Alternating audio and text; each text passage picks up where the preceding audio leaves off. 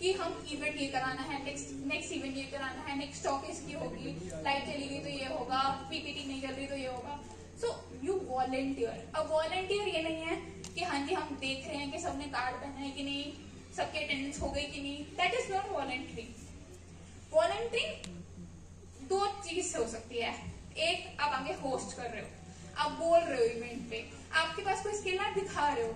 In DevFest 2023 2020 I guess I've a small kiddo he was like in seventh or eighth grade.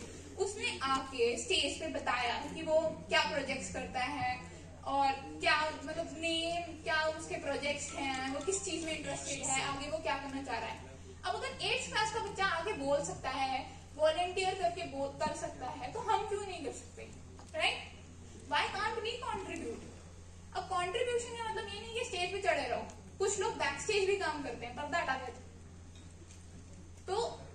why not volunteer or contribute manner you do, okay? Collaborate on a project. बहुत सारी communities में ऐसे लोग होते हैं या student community में भी। आप स्टूडेंट्स हैं फाइनल ईयर के। आपके फाइनल प्रोजेक्ट्स होते हैं। अब ये होता है कि एक बंदा काम कर रहा है, एक ने रिपोर्ट छपवा ली, बाकी जो है वो आ जाएँगे। जब टीचर पूछेगा, बेटा, क्या करा? हम कहेंगे, जी, कुछ नहीं। एक बंदा जवाब दे देगा, उसके नंबर लग जाते हैं।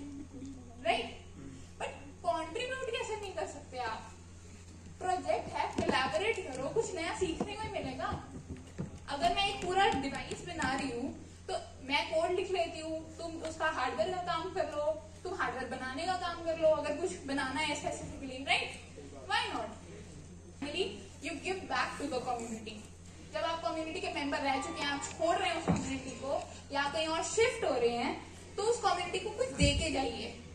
अब देने के मामले में नहीं कि हम गिफ्ट दे रहे हैं। देने के मामले में है कि हम उस कम्युनिटी में कुछ कोलैबोरेट करें उस कम्युनिटी के साथ। हम हमें कुछ सीखा उस कम्युनिटी के साथ, हम कुछ शेयर करें अपनी जर्नी किसी को मेंटर करेंगे, उस उस कम्युनिटी को ज्वाइन करें राइट